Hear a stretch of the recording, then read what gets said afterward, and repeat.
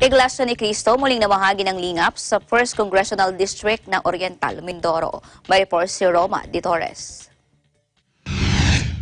Muling namahagi ang Iglesia ni Cristo ng lingap, pangunahin sa bawat pamilya ng mga kaanib at nasa proseso ng pag-anib dito sa 1st Congressional District ng Oriental Mindoro.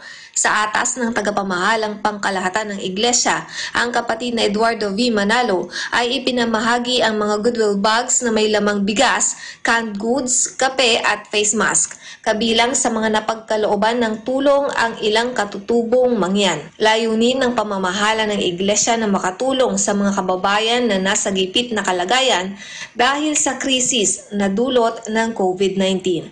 Para sa Eagle News, kasama si Gabe Di Guzman, Roma De Torres, we live in interesting times.